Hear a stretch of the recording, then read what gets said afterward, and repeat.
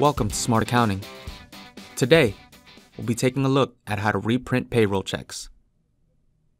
Reprinting of payroll checks requires a passcode from entertainment partners. EP must also receive the request in writing. You may expedite the process by sending an email to support at ep.com.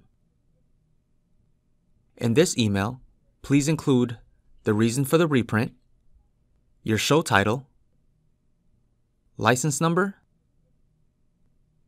and invoice number. Please also include the phone number where you would like to be contacted.